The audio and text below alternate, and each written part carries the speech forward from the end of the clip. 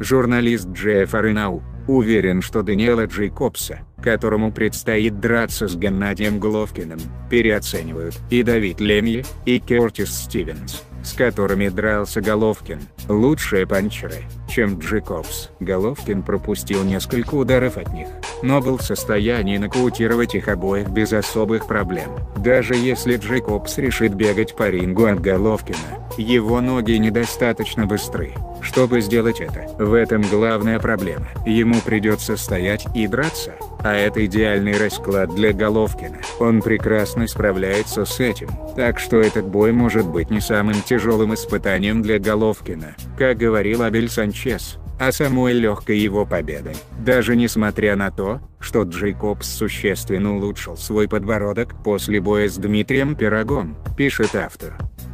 As a professional, 27 fights, 27 victories, including 24 knockouts with 14 straight knockouts, and the highest KO percentage in middleweight world champions history. From Karaganga, Kazakhstan,